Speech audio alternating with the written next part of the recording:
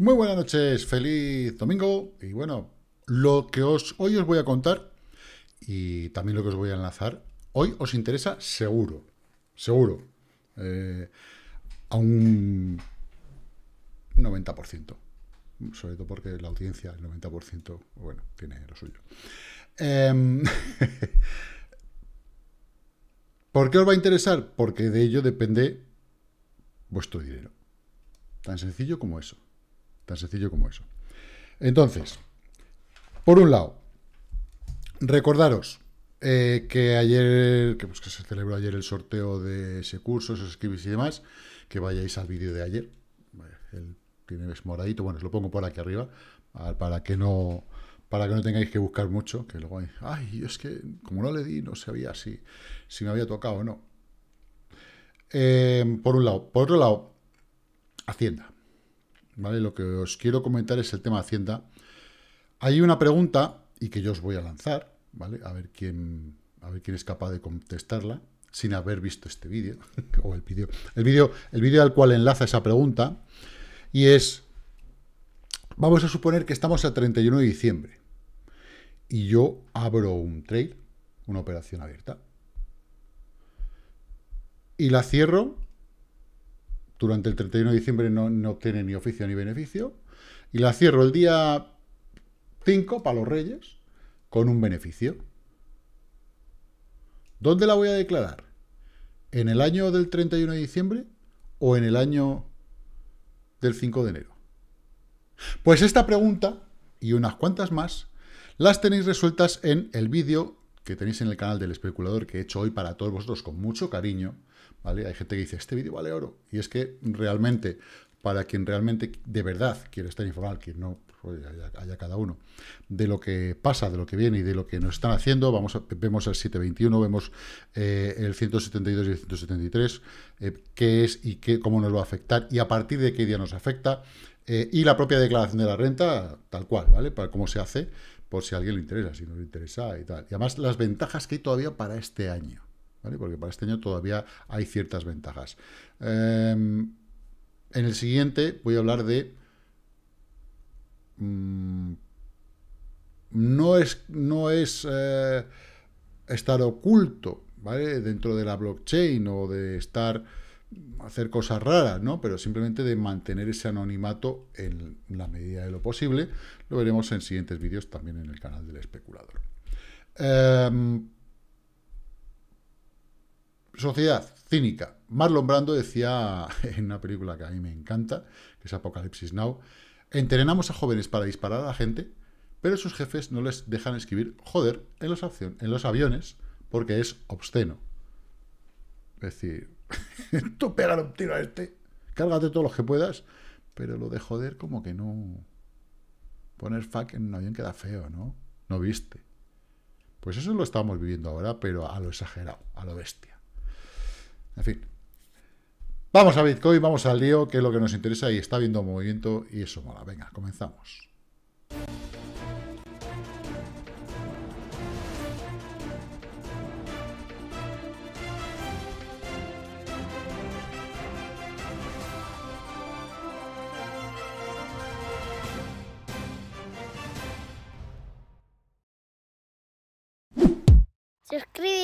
Dale a la campanita. Pues venga, suscríbete y dale a la campanita que totalmente gratis y va a gustar. Por cierto, si veis eh, otros vídeos, también suscribiros, chicos, darle un like, yo qué sé, hacer algo. Yo siempre que veo un vídeo le doy al like.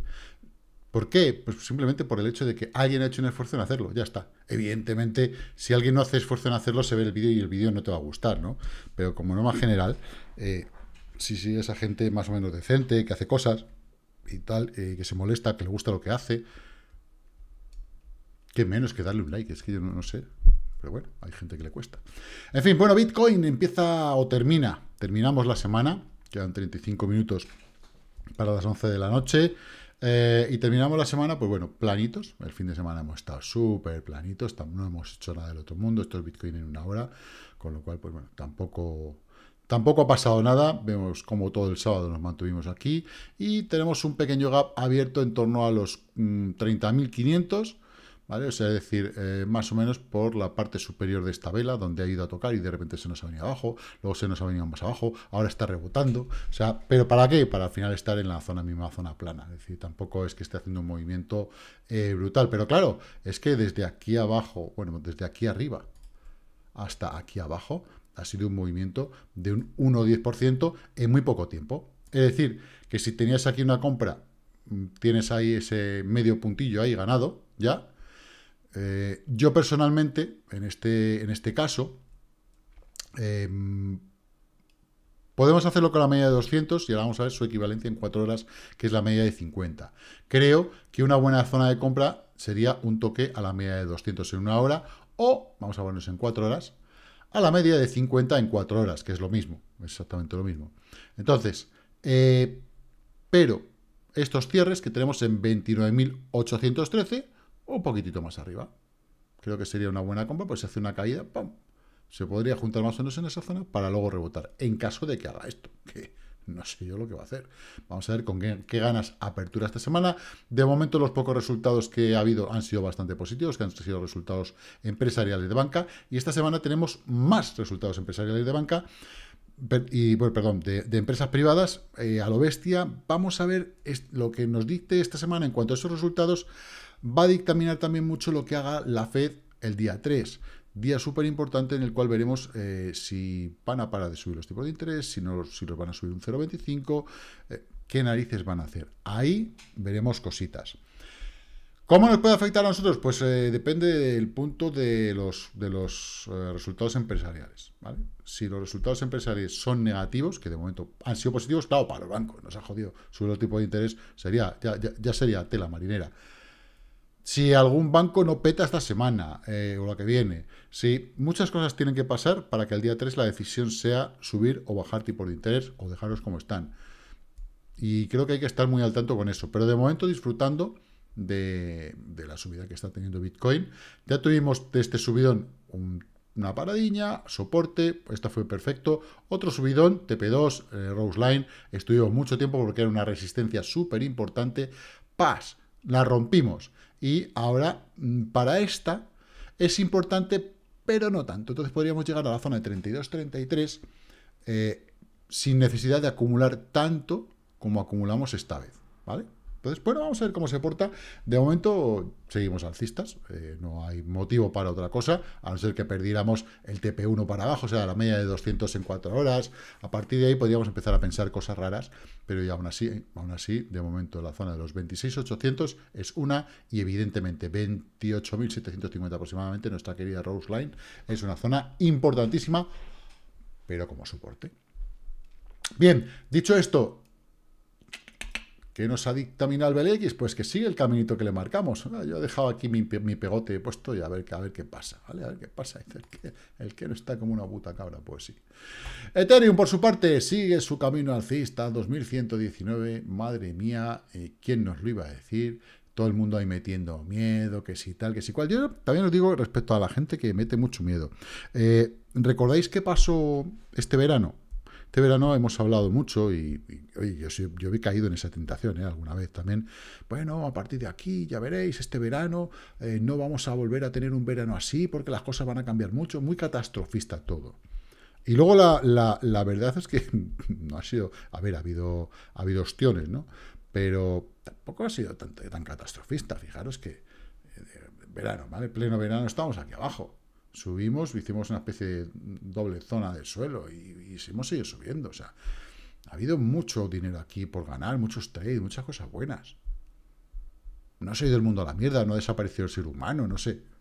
¿Vale? Como, como mucha gente plantea. Entonces, por eso digo, muchas veces, ni el más catastrofista ni el super mega positivista. Hay que ser realista, yo creo, ¿vale? Eh, y bueno, pues en base a eso, eh, tenemos que ver que Ethereum en diario está llegando a una zona de desgaste RSI, puede empezar a hacer aquí dientes de sierra, puede seguir más arriba, depende de cómo el mercado diga que debe hacerlo. Creo que la zona de 2350 es la siguiente.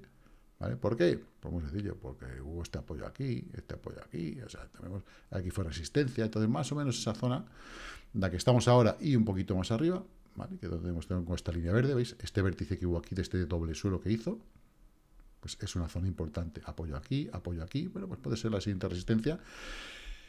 y de momento lo está haciendo muy, muy bien. El total market hoy verde y la dominancia de Bitcoin roja sigue bajando. Eso quiere decir que los pares contra el Bitcoin lo están haciendo muy bien y realmente ha habido, pues eso, ya les dije que había que vigilar los esquemas y lo está haciendo bastante bien. Eh, llegamos a zona controversial, ¿vale? Zona controversial me refiero a este mínimo eh, que vamos a llegar en breve y a partir de aquí puede volver a rebotar. Vamos a ver qué figura quiere hacer, qué nadie quiere hacer en esta zona. Eh, por su parte, las altcoins... Vamos a ir al porcentaje de cambio.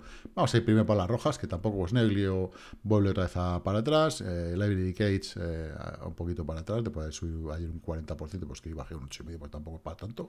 La volatilidad bajando, eso está bastante bien. Y bueno, ya tenemos todo por debajo del, 5% ya enseguida, ¿no? O sea, no hay nada, no hay, no hay, poco que rascar. Y a partir de aquí, todo verde, verde, verde, verde, verde. Pero bueno, vamos a verlo al revés.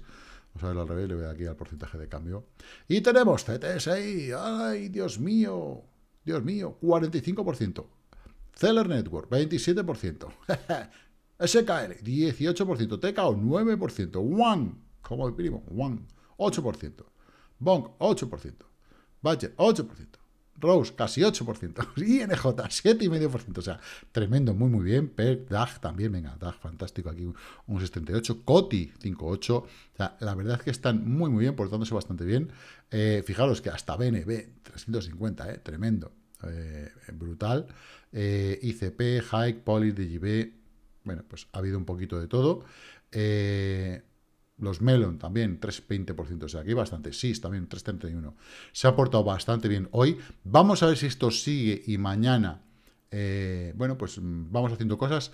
Vamos a ver algo que yo vuelvo a repetir, ¿vale? Yo suelo utilizar bastante bien. Cardano hoy está planito, ya sabemos que es tardano, pero después del movimiento impulsivo que ha tenido aquí, lo normal es que venga y se apoye en la zona de 0.42. Si se apoya en la zona de 0.42, creo que será una buena entrada Siempre y cuando veamos que el mercado sigue positivo, debe relajar su RSI, que está llegando. Pasa un poco como a, Ethereum, ¿no? Eh, tiene que hacer una zona de parada porque está llegando a una zona eh, de 70 puntos de RSI y posiblemente pueda empezar a hacer esto. Si hace algo muy similar a esto, fijaros que desde que empezó a hacerlo, pullback a la zona, fijaros, ¿veis?